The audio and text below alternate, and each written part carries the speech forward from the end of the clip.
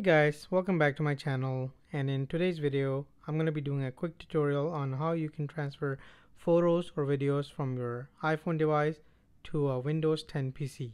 So with that, let's get started.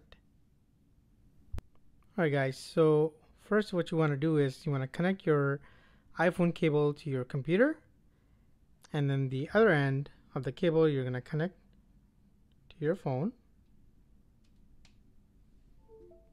and as soon as you connect you're gonna see this pop up on your phone.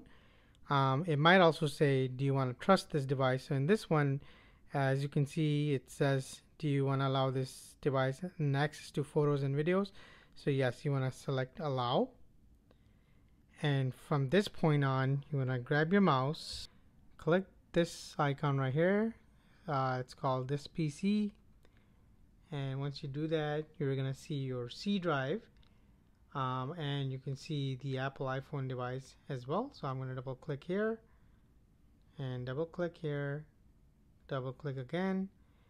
And then I'm going to go to this folder.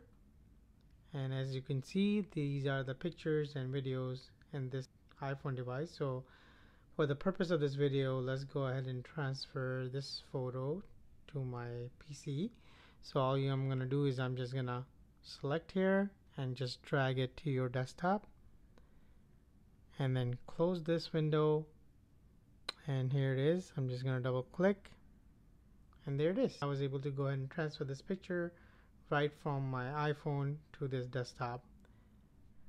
So guys I hope you found this video useful and enjoyable. If you haven't already done so please remember to hit the like button. And don't forget to subscribe to my channel. As always see you on the next one